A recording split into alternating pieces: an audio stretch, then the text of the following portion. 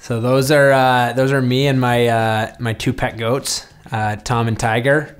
Tom is Tom's a bit of a he's kind of a loner. He goes on his he goes on his own page, and Tiger always wants to be in the action. And they're honestly like me and my girlfriend got them last year. It was kind of more of a, more of a joke. We have we have some space in our backyard, so we were like, you know what? What if we got goats and named them after your two favorite athletes? And I was like, you know what? Let's do it. Like, she found them on Kijiji, went and picked them up and brought them home. And honestly, they are like they're they're part of the family now. Like our dog Oliver loves them. He's friend. He's more friends with Tiger than he is with Tom, but um, you know, it's uh, they're fun little guys. so uh, one year we did a we call it a bad suit trip.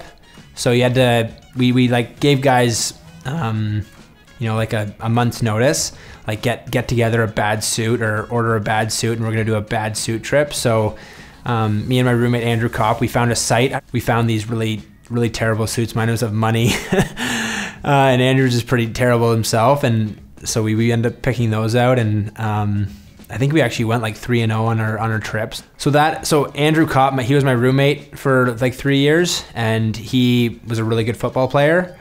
So um, he got invited to do this thing with Andrew Harris, one of the Blue Bombers.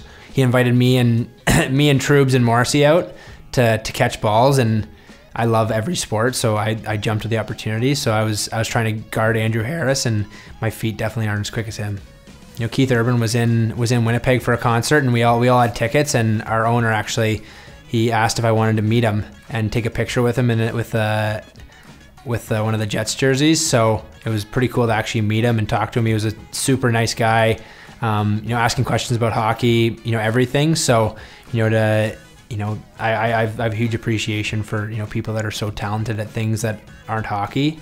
Um, and obviously, you know, his voice is, is, is pretty amazing. So it's pretty cool to be able to meet him.